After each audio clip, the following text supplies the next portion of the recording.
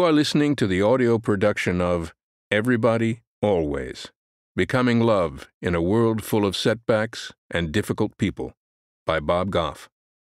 Published by Nelson Books and read by the author. Dedication.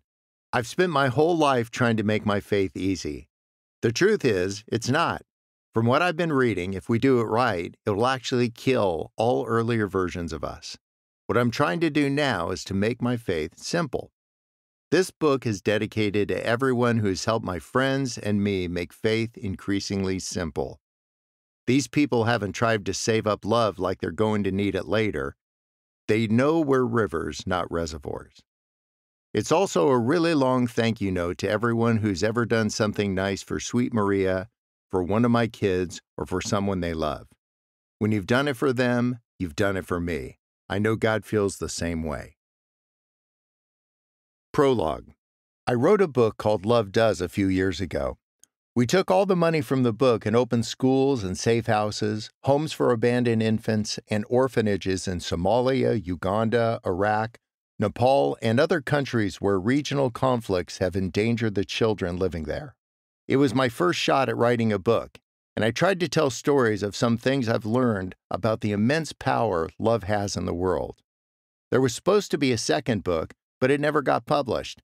This is my third book. Let me tell you why. A number of years ago, a friend of mine quit the megachurch he pastored in Southern California and moved to the inner city in San Francisco. He wanted to build a community among people who had experienced tremendous failures and setbacks. He's a humble guy, is generous with his time, loves his family, and really loves God. Rather than spend only a few minutes each week with the thousands of people at his big church he pastored for years, he decided to go deep with a smaller number of people who had faced some tough breaks. He and a few friends started a restaurant staffed by guys who needed a fresh start, and also a home for women who have confronted some of life's biggest challenges with courage and hope. These amazing people spend their free times loving people in the housing projects near the restaurant. They give away love like they're made of it. Like my friend, they do this because they have developed completely unrealistic ideas about what their faith can do in the world when it's expressed in love. They decided to spend more time loving people than trying to game the system and just agree with Jesus. You see, they decided to follow Jesus' example. Instead of telling people what Jesus meant, they just loved people the way he did. The housing projects are difficult places. They're dark and scary and filled with beautiful, scary people. They're full of guns and violence and fights and theft. They're also full of love and compassion and generosity and hope. These brave men and women seek out people who have felt forgotten and overlooked. They pursue the wrongdoers and the disadvantaged and the discouraged, and they love them Jesus style, with extravagant grace. On one of the trips to see my friend in San Francisco, I brought a couple people who work with me. We flew into San Francisco, rented a van, and headed over to the restaurant to see how we could help. We had been inside washing dishes for about 30 minutes when I went outside to get something out of the van. I was drop jawed at what I found. All the windows were shattered, pieces of glass scattered on the seats and floorboards.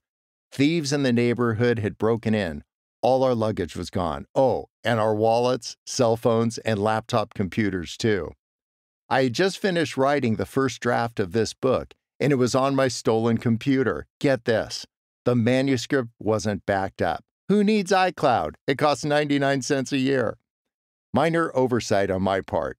I had to write the book all over again. The good news was that I'd been thinking about this book's idea for a while. A few years earlier, I had been with some dear friends at a large church in Chicago and gave a sermon where I said we needed to love everybody always. It made sense to me, so I decided to write a book about it. It's hard to believe Jesus loves the van thieves and all the difficult people we've met just the same as you and me. Yet the incredible message love came to earth to give us was that we're all tied for first in God's mind. While we're still trying to get our arms around that idea, God doesn't want us to just study Him like He's an academic project. He wants us to live in grace and walk in love among one another. I've heard it's hard to write a second book and that they usually stink. The thieves probably did us all a favor, so let's just call this my third book. It's given me a lot of comfort knowing that we're all rough drafts of the people we're still becoming.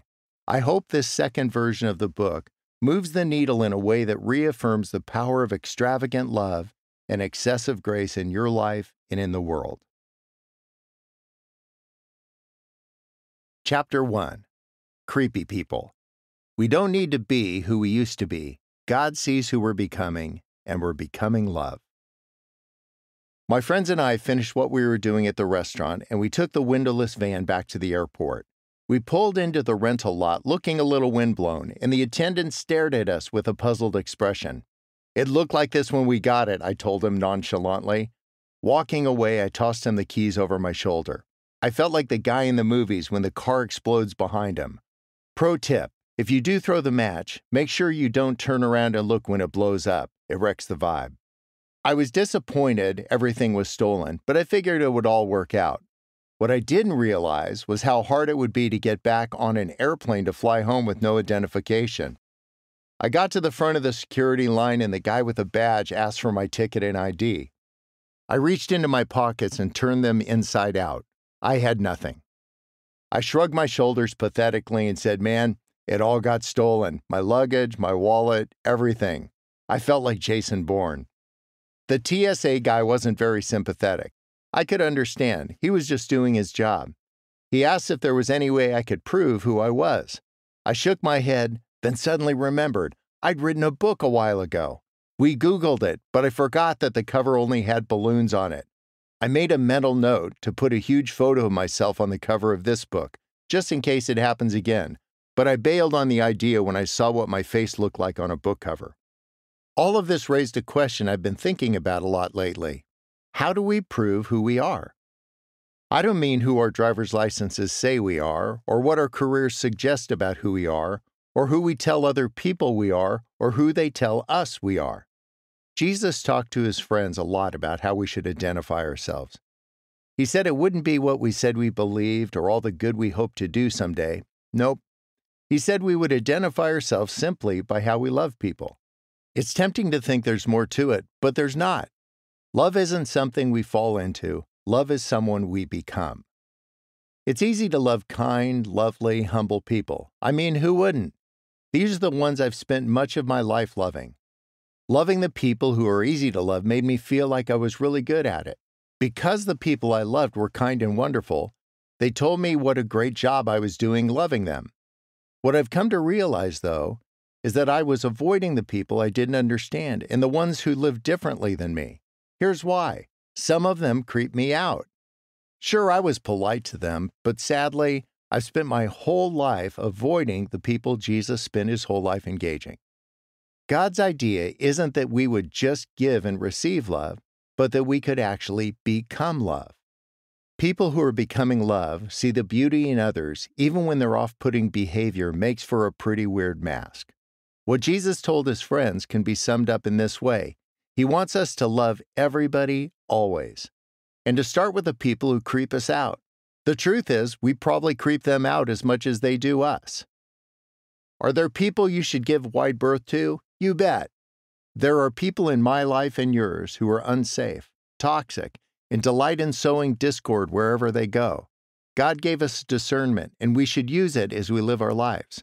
He's also given us love and understanding and kindness and the ability to forgive, which have power we often leave untapped. There's a difference between good judgment and living in judgment. The trick is to use lots of the first and go a little lighter on the second we want to live the big life Jesus talked about. What I'm learning about love is that we have to tackle a good amount of fear to love people who are difficult. Oftentimes, when I encounter someone who makes me feel afraid, I instantly put up barriers. I put them up with my big words and opinions. I construct them to protect myself. Barriers make us feel right, and they make us feel safe. I think this is something we all do to some degree, and there's no shame in that. Except it's not what Jesus did. He showed us what it means to become love when he spent his last meal with a man who he knew would betray him and then willingly died a criminal's death. We make loving people a lot more complicated than Jesus did. Every time I try to protect myself by telling someone about one of my opinions, God whispers to me and asks me about my heart. Why are you so afraid? Who are you trying to impress with your big opinions? Am I really so insecure that I surround myself only with people who agree with me? When people are flat wrong, why do I appoint myself the sheriff to straighten them out? Burning down others' opinions doesn't make us right, it makes us arsonists. God's end game has always been the same. He wants our hearts to be His. He wants us to love the people near us and love the people we've kept far away because they creep us out. To do this, He wants us to live without fear. We don't need to use our opinions to mask our insecurities anymore. Instead, God wants us to grow love in our hearts and then cultivate it by the acre in the world. We'll become in our lives what we do with our love. Those who are becoming love don't throw people off roofs, they lower people through them instead. In high school, someone asked me if I had met Jesus. I thought he was kidding. Of course not, I answered literally. I still haven't. I don't have any friends who have either. From what I've read, very few people on this side of heaven have actually ever met God. Adam and Eve did. Joseph and Mary did too. Moses did on top of a mountain. Some shepherds and a few wise men make the list. A boat full of fishermen, a couple thieves on a hill. There were plenty of others, but not as many as you might think. By contrast, there were a lot of people who watched Jesus from a distance. He walked their streets and went to their parties. He stood before leaders, and a few even saw him raised up on a cross. I suppose they could say they met him, but at best they probably just got a glimpse of him. For a long time, I saw Jesus from a distance and thought we'd met. It still happens to me every time I avoid people God made in His own image, just because I don't understand them. My fear of them leaves me only with glimpses of Jesus. What I've come to realize is if I really want to meet Jesus, then I have to get a lot closer to the people He created, all of them, not just some of them. God could have made it otherwise, of course, and everyone could have actually met Jesus. He could have appeared in person throughout history in all maternity wards and huts and fields where children are born. He could have shown up at Super Bowl games and Taylor Swift concerts and at elementary school plays and the Rose Parade. By not doing this, I don't think he's avoiding us. I think his plan all along has been for us to meet the people he made and feel like we just met him. In this sense, I've met God almost every day. He made all of us, the wonderful, engaging ones who are easy to get along with, and the ones we just don't get. Certainly, God wants us to learn about Him by reading the letters and stories collected in the Bible, but He also wants us to meet Him by loving people who are difficult to get along with. If I'm only willing to love the people who are nice to me, the ones who see things the way I do, and avoid all the rest, it's like reading every other page of the Bible and thinking I know what it says. Jesus told his friends if they wanted to be like him, they needed to love their neighbors and they needed to love difficult people. This sounds so familiar, I'm tempted to just agree with Jesus and move on. But Jesus doesn't want us merely to agree with him. In fact, I can't think of a single time he gathered his friends around him and said, Guys, I just want you to agree with me. He wants us to do what he said, and he said he wants us to love everybody always. It's tough, though. Some people just seem to have a mean streak. They're wrong minded, backwards, disagreeable, hateful, misguided, or deluded by money or power or status. They're hard to be around. We've met them in the marketplace and at our schools. We've even elected a couple. Don't worry about who's in the Oval Office with the launch codes. If you draw a circle 30 feet around yourself and love everyone inside of it, that's your office. Jesus said to love our enemies. I thought I'd get off easy because I don't really have enemies. I mean, I'm not mad at North Korea or Russia or China, and I don't think they're mad at me. After all, I wrote a book and put balloons on the cover. Who could be mad at that guy? I think Jesus meant something different when he said enemies. He meant we should love the people we don't understand, the ones we disagree with, the ones who are flat wrong about more than a couple things.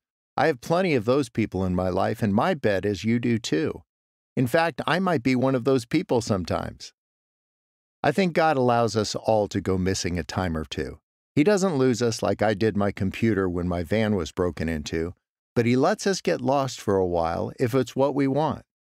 When we do, He doesn't pout or withhold His love the way I probably would if someone completely ignored me or walked away from me. Instead, He pursues us in love. He's not trying to find us, He always knows where we are.